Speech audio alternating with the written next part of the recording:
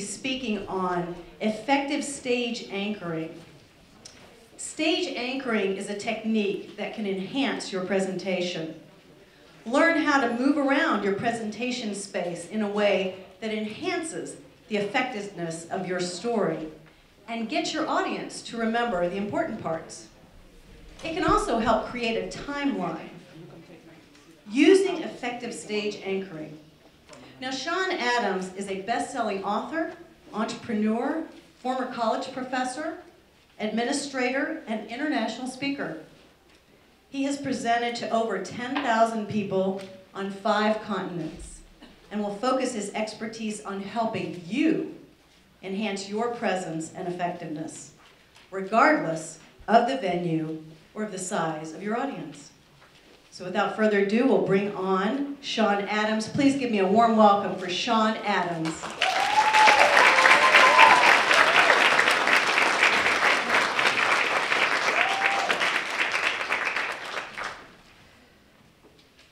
How many of you have something that you're passionate about and want to share with other people?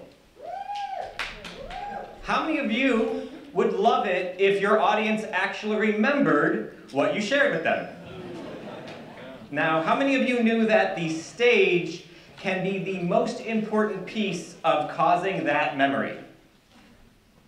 Excellent. So, I'm Sean Adams, and I want to give you a little bit of my background on how I came to understand the psychology and the, the, the process of stage anchoring and why it works so effectively. So the first time I really started to understand this was back when I was in undergraduate. Um, I started out as a physical therapy major because you go to school to get a job that's going to pay you really well. Um, then I took physics. So then I changed my degree to something that, you know, was absolutely going to assure me of a job, psychology and theology. That is just the money maker.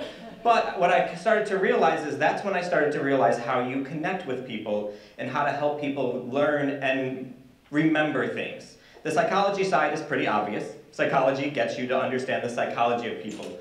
But I also learned that the theology side was very important because it helped me understand how to connect with people, where their passion is, what really moves them, which is also important whenever you're going to be sharing something that you're passionate about.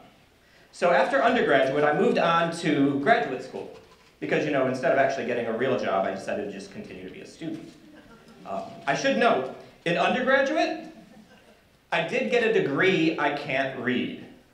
I went to a school that still believes in that. It was a private Catholic institution, so my degree was written in Latin. I didn't have to take Latin, but my degree was written in Latin. So I think I got an undergraduate degree, but I actually have no guarantee of that. But they still let me into grad school. So at grad school, I studied more psychology and student development theory. So got a lot more of that aspect of what happens in the brain as people learn and grow and develop. But I also was able to get in front of classrooms.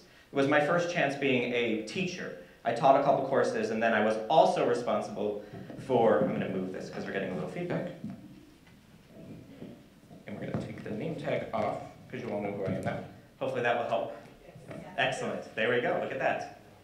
Um, I, can, I can get that later. So in, grad, so in grad school, I started to be able to teach, and I was a faculty member and got to learn what did and didn't work inside the classroom. I was also responsible for planning all of the activities to keep all the students entertained when they weren't in the classroom. So I learned how important it was reading through all those contracts and riders and things like that, about knowing that you plan your space correctly. So as, if anybody was stayed in the room, which you shouldn't have done, but if you did, you saw that I set some things up on the stage because I wanted to have my space be exactly how I want it to be in order to give this presentation. After I graduated from graduate school, I moved on and worked in higher education for 10 years, both on the faculty side and on the administrative side. And so I, got, I was teaching on a regular basis, I was planning conferences, I was planning much larger events, large concerts, things like that, but it still all came down to the basics. Um, the devil's always in the details, and if you don't have the details in place, you're going to run into that problem. So I still, I really gained a lot more information on that. Eventually, I got my PhD in education and really learned how people think, interact, and function.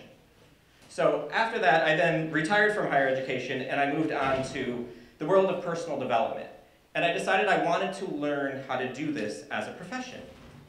And so the way to do that, I could have gone and like paid thousands of dollars to go and watch Tony Robbins on stage and take notes what he does. I decided to go the other way, which is I went to the people who trained Tony on how to speak and had them teach me. So I went to your T. Harv Ekers, your Brian, um, Blair Singers, folks like that, Clinton Swaine, the folks who teach people how to manage an audience and a stage.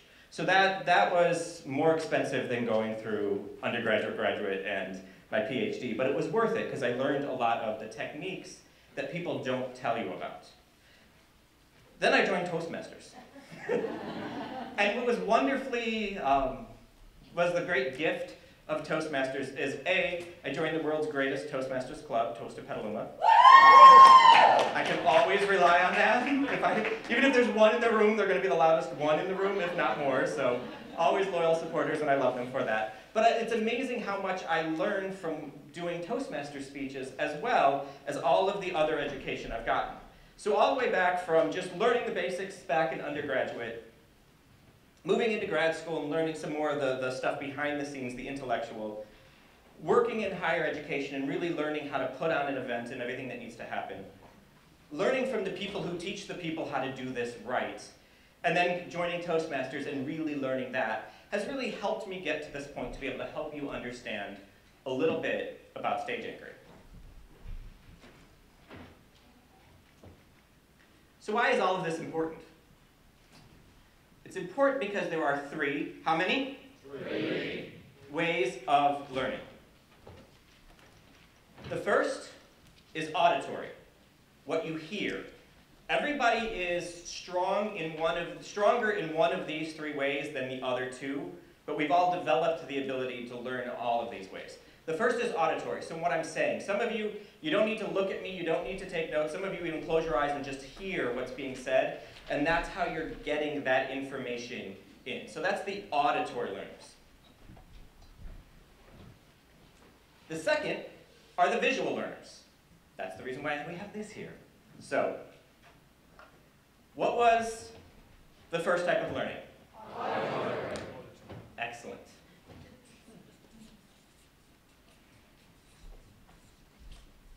And what is the second type of learning? Visual. You guys are fast learners. Now, the third is for all of you folks who have your little pens and notepads out. You're my tactile learners. You're the ones who have to physically do something for the learning to take hold. And that also isn't just note-taking. That's your people who are into dance and use movement to be able to gain the information and process information through movement or some kind of physical body experience. That's your tactile, folks. So the third type is? You are excellent learners. And I know the evaluators would criticize me for turning my back to you, but I'm aware I'm doing it.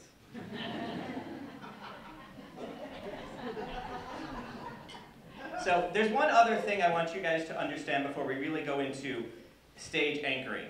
And that is, this is, the scientific research has proven, and I'm going to come down to the floor to this to help you guys understand this. There's, we learn best when we chunk or segment our information. So let's say that I'm trying to study for that physics exam that I never studied for as an undergraduate. And part of the physics exam involved knowing just basic equations. So the idea to this is our brains actually take chunks of information and store them in different ways. And so our brain likes the idea of, think of an office building, where you have all of these different offices that exist. Each room in your brain is a piece of knowledge. So if I want to learn physics, I would go into room 101 and learn the theory of relativity, because you know, you might as well start easy. then I would go into room 102 and learn the theory of gravity. And then I would go into room 103 and learn whatever other theories exist in physics. Clearly, I didn't learn any of them. but let's say the second half of this education is actually going to be going to knowing uh, the history of physics, like who are the great physicists. So then I would go into 201 and I'd learn about Einstein. And I'd go into 202 and I'd learn about Planck. I don't know if that was a physicist or a chemist, but it's a sciencey name, so I'm running with it. Um, and then I could go into room 303, and then there I could study, we've got theory, we've got the history, now I might want to study actual practical like applications of physics. So how can I use this to build a better car? And then the, I could go into 302 and learn how to build a better boat, whatever it might be. And the reason this is important is that when you are walking around, when you go to take that test, instead of having this giant like mess of information in your head, all you have to do is picture the room of 101 and you're going to be able to pull up that information about the theory of relativity. And then when the question comes up about the theory of gravity, you don't have to try to figure out where it is in this giant mess of information. You just remember room 102.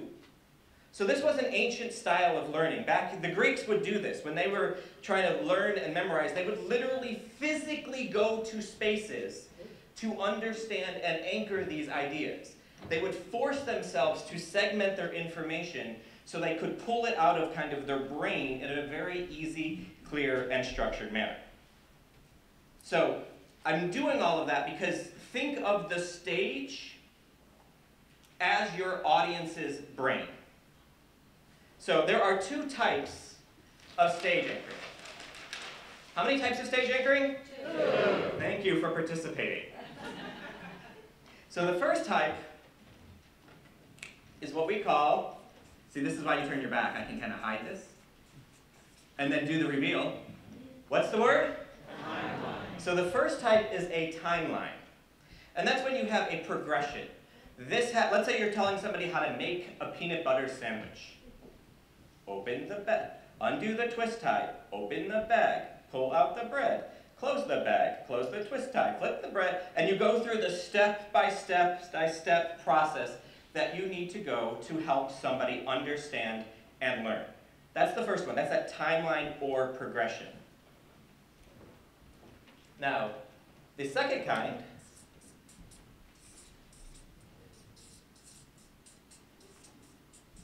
is it's not sign points, it's significant points. If there's certain things you want people to understand, I don't know, maybe the auditory, visual, and tactile learning styles, you need to be able to give them that physical space that they can associate with it. Because now if I stand over here, what do you guys go and think about? Auditory learning. If I stand over here, you think about? Visual. And over here it is? So that's now anchored in your head. And if you're ever sitting there thinking, what are the three types of learning? All you have to do is picture the stage and where I was standing, and those, I, those answers will come to you because we learn better visually. Even if you're an auditory learner, having a map helps you. So how does this work? First of all, if I hadn't just told you I was doing that, you don't actually know I'm planting the seed of these three different concepts. It just naturally works in your head. Your brain is making the map for you as I'm talking. And I have the glory of this nice, ginormous stage where I can be painfully deliberate about how I'm doing this. And I know inside, wherever you may end up speaking, you may not have that option. But you may have just this size space, but you can still own every square of whatever the size stage you have and be very clear on what each piece means so that the, the education and the knowledge and the wisdom sinks into your audience. Now, the other thing it does is it complements a thing called accelerated learning. How many of you have ever been in a room where you were listening to someone speak and for 45 minutes you stared at that person and did nothing but looking at that person? How many of you so far in this presentation have either had to say something or raise your hand at some point? That's accelerated learning. You're going to learn more if I get you participating. Especially if I get you giving me the answers. How many types of learning are there? Three. Notice, I'm going to give you a hint. I don't actually want you to get it wrong. So if I say that there are multiple types of learning, how many are there? Three. That is a learning technique to help it anchor it. But by doing the physical, you're instantly, when I get you to say three, you're instantly picturing three locations on the stage in your head. I'm not a mind reader. I'm programming your brain for me. Because I want you to remember what I'm sharing with you guys here. I'm not doing it to brainwash you.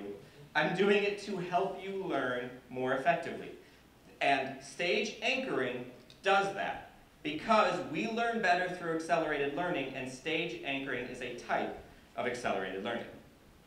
It also does a wonderful job of connecting the three types of learning. When I'm standing over here in auditory, I'm still talking to you, yes? So my auditory people are hearing, but you're also seeing me, and I've also got you to do something tactile by saying the first type of learning is? Thank you. Now, same thing with visual. My visual learners, that's why this is in the visual learning section. The physical thing you're seeing where the information is at is in the visual section. You're still seeing me, my auditory learners are still hearing me, and the second type of learning is visual. Thank you.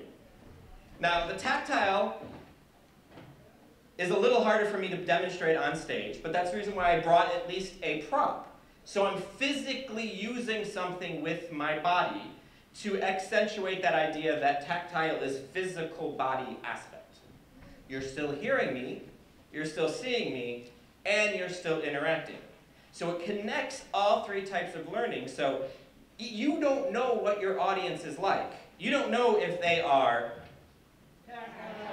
or if they are, or if they are, exactly. So you can't know that going into a room. But by managing the stage in a deliberate way, you are assisting everyone in the room to learn in the way that best complements their strength. This is why stage anchoring matters. Now, i have given you a fairly good example of how to anchor significant points. Where was I in my progression when I told you the story here? Graduate school. Where was I here? Teaching, higher education, personal development, and then Toastmasters, of course. I'm going to hang out here for a little while. This is a good place to be. So, but when you are looking at the stage, we naturally think timelines left to right. We're a Western society, so this is how it's been programmed into us. It's a little different if you go into an Eastern society, but it's become Western enough that this is the accepted norm in learning time, a progression of time. So you know my growth as I got to being in Toastmasters, because you can follow the path of how I got here. It could be the exact same thing as if I was explaining how to make a peanut butter and jelly sandwich. Open the bag. Well, first of all, sorry, it's open the twist tie, open the bag, pull out the pieces of bread, close. So people then will remember the progression of going from undergraduate to graduate to working in higher education to work, doing personal development to then joining Toastmasters. And you always want to leave a little space. Because unless I keel over right now on this stage, something else is going to happen in my life. So you never want to end your lessons here because you don't have anything else that could happen. Always leave a little space.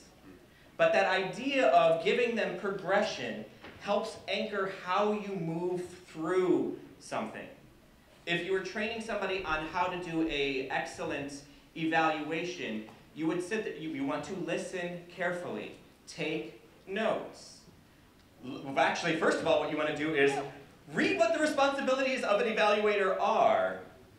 Show up, listen carefully, take notes, organize your notes, present them clearly, and accept the rousing round of, of applause. This works for anything that has a process to it of A leads to B, leads to C, leads to D, etc. So you've got your timeline, or you have your significant points. And it doesn't matter what kind of speech or talk or presentation you're giving, you're going to fit into one of those two. You either telling significant points of a story or you're telling the experience that somebody had. Those really are the basics of stage anchoring. Timeline, significant points. If you can remember those two things, think about whatever presentation you need to give, and then design your stage, your space, or your platform around presenting in one of those two models, your information is going to sink in.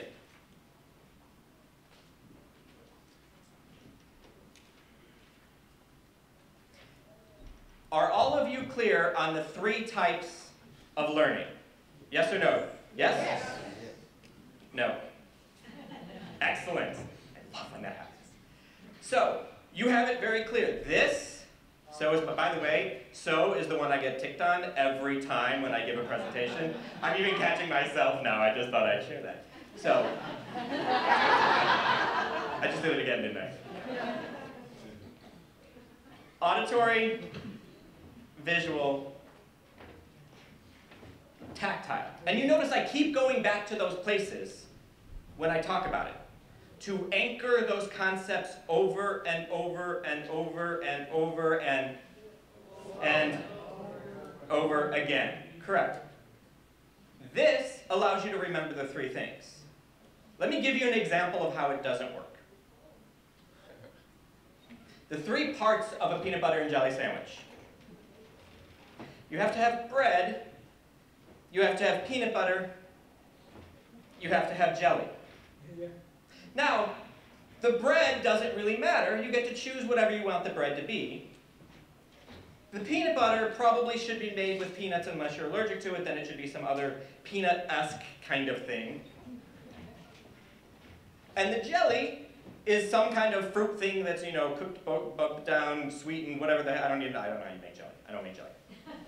Now, in order to make a peanut butter and jelly sandwich, I don't know where to go anymore because I've mixed my messages. This was originally bread and then it became jelly. Now, when I talk about a peanut butter and jelly sandwich, you don't know where to look to remember what the first piece is. That's bad stage anchoring. And whenever I give a lesson or teach, I always like to make sure people understand the bad way to do it first so that you can avoid this. And you'll notice I didn't poison my stage. I still have my nice clean timeline of where I, how I progress through my education, and I have my nice clear three points of learning. I use the middle to show you what's bad. So for the rest of my presentation, I'm going to avoid standing in the middle of the stage, because this is now equated with being something really weird and not quite clear. And the other side of this is it's really hard to take in a lesson about what works and what doesn't work if you're not really sure where the main significant points are happening, and if, you know, staying in one place is important, or meandering, or wandering around, or being somewhere else, you guys can't tell what the main points of what I'm saying right now are, because I'm all over the place, literally. When I'm wandering around and just kind of meandering aimlessly, you can't follow or identify the main points.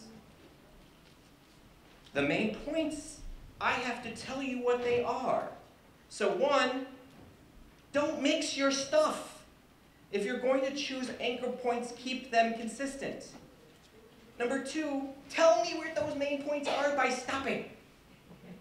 This is one of the biggest mistakes people make in sharing information is they just keep walking around wherever they want to go, and you never know when they're getting to a main point of stopping to share your main point.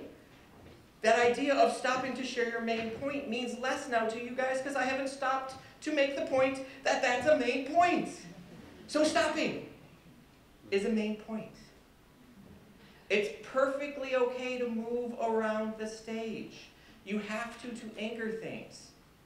But when you get to the point that you know they have to learn, you stop and talk about that specific point.